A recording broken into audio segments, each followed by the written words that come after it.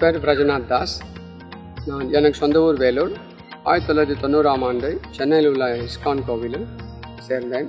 என்னுடைய குருநாதர் ஸ்ரீ ஸ்ரீமத் ஜெயபதாக சாமி மகாராஜ்.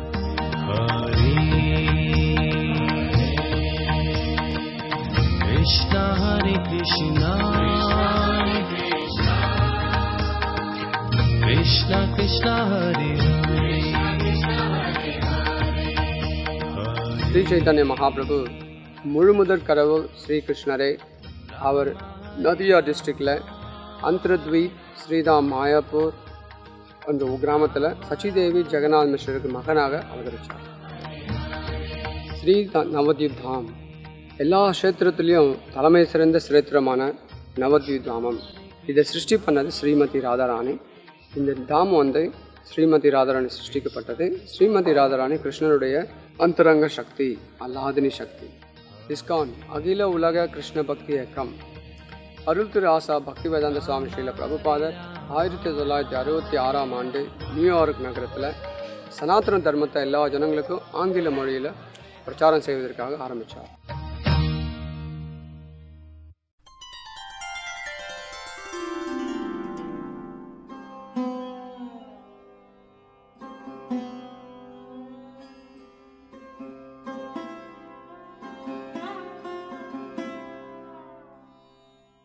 கோதுரும தீபத்தில் இருக்கு. கோதுரும தீபம் வந்து ஒன்பது தீவில் மூணாவது தீவை வகுக்கிறது. இந்த தீவு வந்து கீர்த்தனத்தை வகுக்கிறது. ஒன்பது தீவு ஒன்பது விதமான பக்தி முறைகள் பாதைகள். இதில் ஸ்ரவணம் ஸ்ரவணம் கீர்த்தனம். ஸ்ரவணம் ஸ்ரீமந்த தீப் கீர்த்தனம் வந்து கௌதம தீப். இந்த கௌதம தீப்பில் சுரபி குஞ்ச் சுரபினா காமதேனு பசு சுரபி குஞ்ச் நம்ம என்ன ஆசைப்பட்டாலும் நம்மளுடைய ஆசைகளை பூர்த்தி செய்யக்கூடிய சக்தி வாய்ந்த அந்த பசு மாடு. அதுக்கு பேர் சுரபி இன்னொரு பேர்.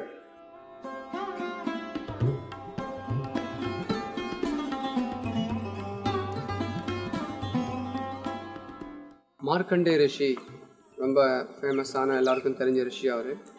மார்க்கண்டே ரிஷி வந்து அவருக்கு ஏழு கல்பம் உயிர் வாழறதுக்கு அவருக்கு வர வரம் கிடைச்சது சிவபெருமான்கிட்ட இருந்து. சிவபெருமான் அந்த வரம் கொடுத்த உடனே ஏழு கல்பம் வருஷம் உயிர் வாழணுமா அப்படின்னு சொல்லிட்டு அவர் வரம் வேணும்னு கேட்டதுனால வரம் கொடுத்தார். ஸோ அப்போ ஏழு கல்பனாக்கா மூன்றரை நாள். பிரம்மாவுடைய மூன்றரை நாள் அவர் ஏழு கல்பம். இந்த ஒரு கல்பம்னா என்ன? கல்பனாக்கா சத்துர் யுகம் இந்த நான்கு யுகம் சத்தியுகம் திரேதாயுகம் துவாபர யுகம் கலியுகம். இந்த நான்கு யுகமும் சேர்ந்தது சத்துர் யுகம் அப்படின்னு பேர். இந்த நான்கு யுகம் சேர்ந்து ஒரு சத்துர்யுகம் இந்த மாதிரி ஆயிரம் சத்துர்யுகம் சேர்ந்தது ஒரு திவ்ய யுகம். ஆயிரம் சத்தியுகம் சேர்ந்தது திவ்ய யுகம். இந்த மாதிரி ஆயிரம் இது சேர்ந்து நாலு சேர்ந்து சத்துரயுகம் இந்த மாதிரி ஆயிரம் சத்துரயுகம் வந்து ஒரு கல்பா பிரம்மாவுடைய பன்னெண்டு மணி நேரம். இப்படியாக பிரம்மா வந்து நூறு வருஷம் வாழறார். அவருடைய வயசு நூறு வயசு. நம்மளுடைய கணக்குப்படி. இந்த மாதிரி நாளில் மார்க்கண்டே ரிஷி வந்து எல்லா இடத்துலையும் பார்க்குற எங்கே பார்த்தாலும் தண்ணி குடிக்க தண்ணி இல்லை பசிக்குது அவருக்கு சாப்பிட வரும் ஒன்று உணவு இல்லை உண்ண உணவு இல்லாமல் குடிக்க தண்ணீர் இல்லாமல் எங்கே பார்த்தாலும் தண்ணியில் நீச்சல் அடிச்சுட்டு வந்துருக்காரு அவர் சாக மாட்டார்.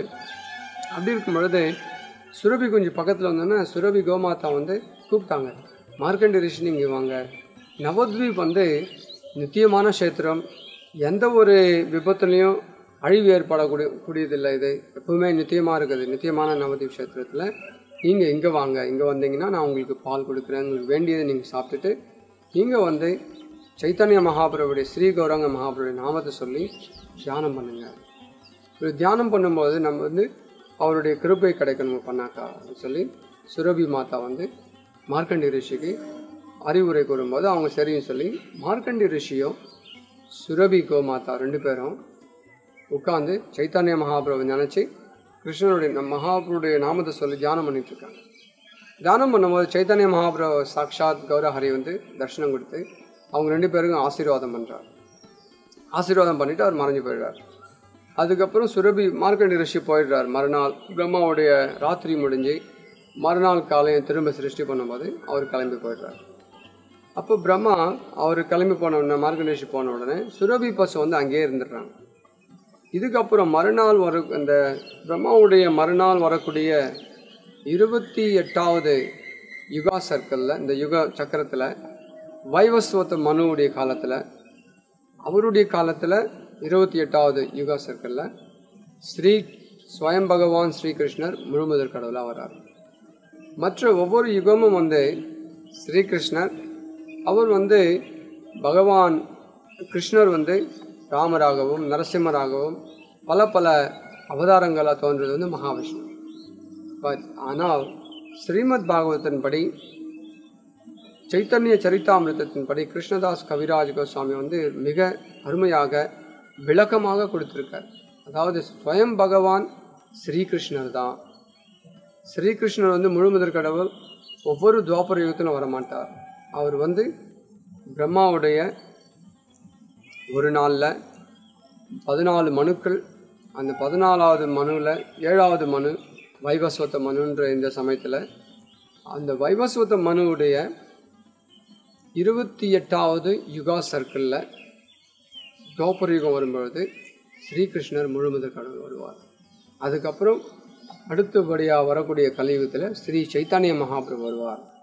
ஸ்ரீ சைத்தன்ய மகாபிரபுவும் பகவான் ஸ்ரீ கிருஷ்ண சை கிருஷ்ணரும் ஒவ்வொரு துவாபர யுகத்திலையும் ஒவ்வொரு கலியுகத்திலும் வரமாட்டாங்க.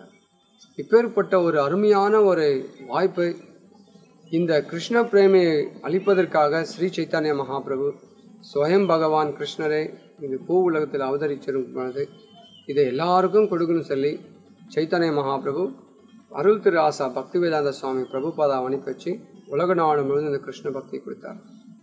இப்பேற்பட்ட இந்த உலகத்தில் இந்த உலகத்தில் கிருஷ்ணருடைய நாமத்தை சொல்லி பகவான் சைத்தன்ய மகாபிரபு திருவடியை சென்று சேருவது மிகவும் சுலபமானது எல்லாருக்கும் வாய்ப்பு கிடைக்குது. நம்ம அதை பயன்படுத்திக்கணும்.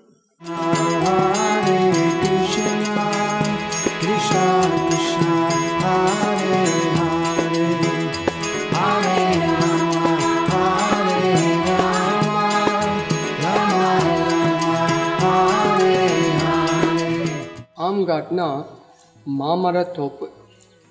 ஐநூறு வருஷத்துக்கு முன்னாடி ஸ்ரீ சைத்தன்ய மகாபிரபு பக்தர்கள் எல்லாரையும் நவத்வீப் ஒன்பது தீவையும் சுற்றி வருவாங்க. தினசரி நாம சங்கீர்த்தனம் பாடிக்கொண்டு ஹரே கிருஷ்ணா மகாமந்திரம் பாடிக்கொண்டு நாம சங்கீர்த்தனம் பாடிக்கொண்டு ஒன்பது தீவையும் சுற்றி வருவாங்க.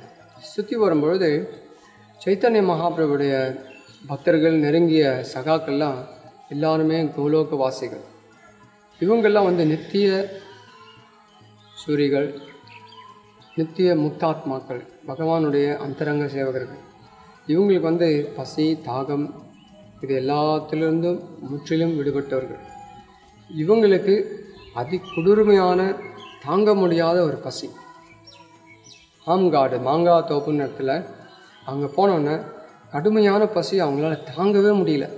ஸோ ஒருத்தர் வந்து மகாபிரபு மகாபிரபு எனக்கு ரொம்ப பசிக்கிறது. தாங்கவே முடியல அந்த பசி அப்படின்னு கேட்கும்பொழுது ஒருத்தர் வந்து மாம்பழம் வச்சுருப்பார் கையில். அந்த மாம்பழத்தை ஸ்ரீ சைத்தன்ய மகாபிரபுட்ட கொடுத்தோன்னே அவர் அந்த மாம்பழத்தை சாப்பிட்டுட்டு அந்த கொட்டையை பூமியில் நட்டு வைப்பார்.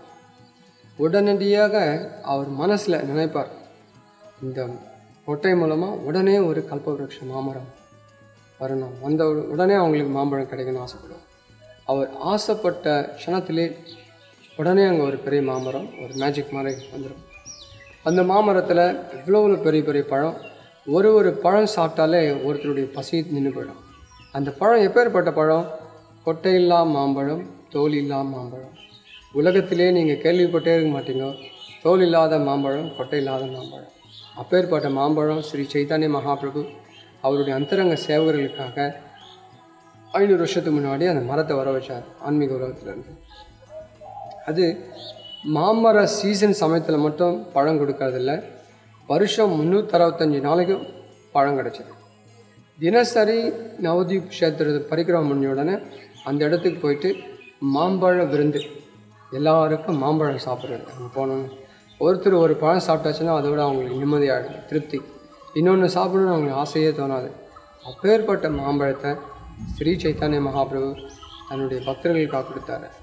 ஒரு வருஷம் முடிஞ்ச உடனே அந்த மாமரத்தை உலக பிருந்தாவனுக்கு அனுப்பிட்டார் கிருஷ்ணன் சைத்தன்ய மகாபிரபு ஏன்? இங்கே எல்லா ஜனங்களும் அப்புறம் அந்த மாம்பழத்தை வச்சு காசு சம்பாதிக்க ஆரம்பிச்சிடுவாங்கன்னு சொல்லிட்டு மகாபிரபு தான் வச்சுட்டார். அது வந்து காசு சம்பாதிக்கிறதுக்காக இல்லை பக்தருடைய சேவைக்காக. இதிலிருந்து நம்ம மகாபிரபு என்ன எடுத்து காட்டுறாருன்னா இப்பேற்பட்ட இன்பங்கள்லாம் இது வந்து ஒரு சிறு ஒரு உதாரணம் தான் இப்பேற்பட்ட இன்பம் ஆனந்தம் நமக்கு கோலக் பிருந்தாவனத்தில் காத்திருக்கு நமக்காக. இந்த ஒரு சிறு உதாரணம் இந்த லீலை மூலமாக நமக்கு காட்டுறார். நம்ம இங்கே இந்த அல்பம் சுகம் இந்த ஜட உலகத்தில் கொஞ்சம் சுகத்துக்காக நம்ம ஆன்மீக உலகத்தில் கோடிக்கணக்கான ஆனந்தத்தை அளவில்லாத ஆனந்தத்தை நம்ம அடைய முடியாமல் இங்கே இருக்கோம். ஏன்? பொறாமை. யார் மீது பொறாமை? கிருஷ்ணர் மீது பொறாமை. கிருஷ்ணர் மட்டும் இவ்வளோ சந்தோஷமாக இருக்காரு. கிருஷ்ணருக்கு ஏன் அத்தனை மனைவி? ஏன் நான் அத்தனை மனைவி கல்யாணம் பண்ணக்கூடாது இந்த மாதிரி பல பேருக்கு எல்லாரும் கிருஷ்ணர் மேலே பொறாமை. முதல்ல கிருஷ்ணர் மேலேருந்து பொறாமை விடணும். எல்லா ஜீவாத்மாக்கள் மேல் இருக்கக்கூடிய பொறாமை விடணும். பேரு புகழ் இதிலிருந்து முற்றிலும் விடுபடணும். தூய்மையான நாமமான ஸ்ரீகிருஷ்ண நாமத்தை ஜெபம் செய்தோம்னாக்கா எல்லா விதமான ஜட ஆசைகளிலிருந்தும் விடுபட்டு கிருஷ்ணருடைய சேவை கிருஷ்ணருடைய நாமம் கிருஷ்ணருடைய லீலைகள் ஸ்மரணம் செய்து கொண்டோம்னா தானாக நம்ம வந்து கிருஷ்ணனுடைய கருணையினால் கோலோக பிருந்தாவனம் சென்று சேருவோம்.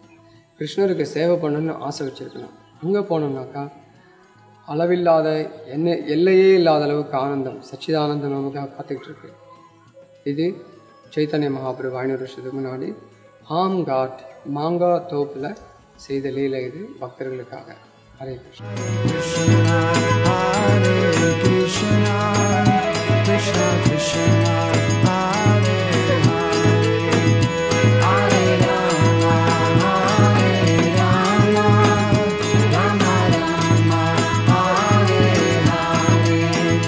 கௌர தோஹா அப்படின்ற ஒரு இடத்துல அதுக்கு லோக்கல் பேர் வந்து காதி காட்ச் கௌரவ தோஹான்றது வந்து ஆம்காட்டை மாதிரி மா மாங்கோ தோப்பு மாதிரி அதுவும் ஒரு மாமர மாந்தோப்பு தான்.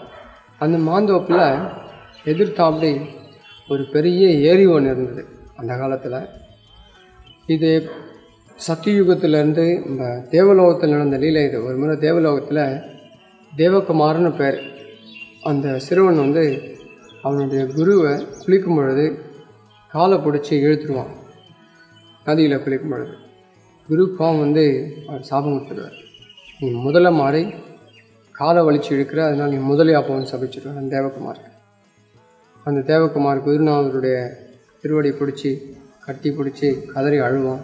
குருநாதரை மன்னிச்சுக்கோங்க. ஆசீர்வாதம் கொடுங்க. இல்லை முதலியா சபிச்சிட்டிங்க?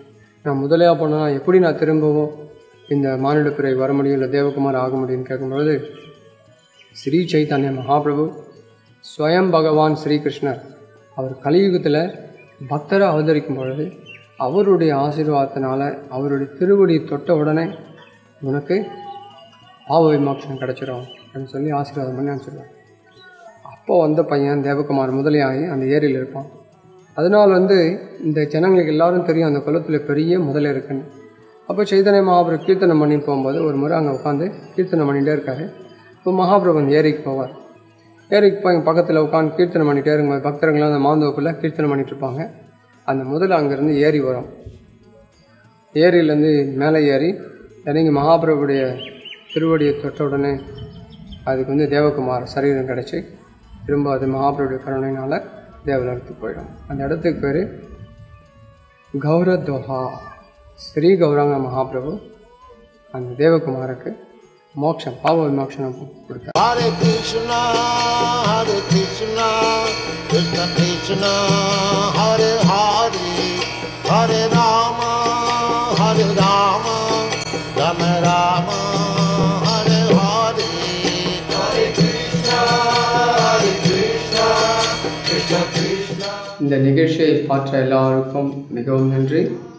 இதுக்கு அப்புறம் வரக்கூடிய நிகழ்ச்சிகளையும் தயவுசெய்து பார்த்து எல்லாம் பார்த்து முடித்து எல்லோரும் நீங்கள் நவதீப் தாப்புக்கு வந்து இங்கே உள்ள க்ஷேத்திரத்தை தரிசித்து கிருபையை பெறும்படி வேண்டிக் கொள்கிறோம்.